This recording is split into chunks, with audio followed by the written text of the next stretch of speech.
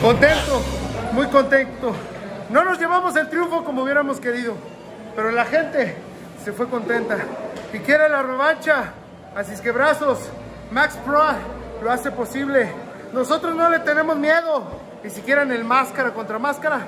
Está bien, aquí estamos. Los villanos siempre lo hemos dicho, cuando quieran, donde quieran y a la hora que quieran, los villanos estamos para servirles, señores. Qué mejor escenario, ¿no? Que la Arena Afición en su aniversario para esta gran rivalidad que tienen con los Bad Boys. Así es.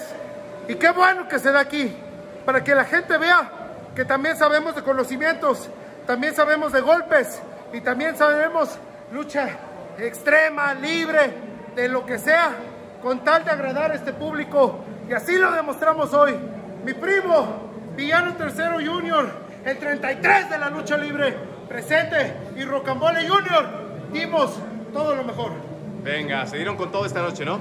Así es. La verdad es el recibimiento más cabrón.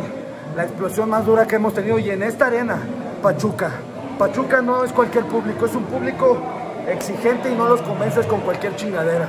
Y tú los escuchaste, estuvieron al filo de la butaca. Es y eso lucha. por la entrega de los villanos y también de los brazos. Pero tú escuchaste con quién estuvo la gente hoy. Venga, las máscaras se pueden jugar, ¿no? Las máscaras se van a jugar.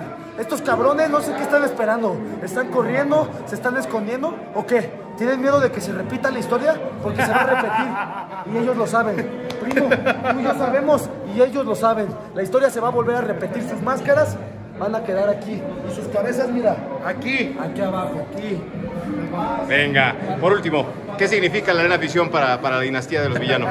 con esto culmino. Ni rudos ni técnicos, simplemente villanos.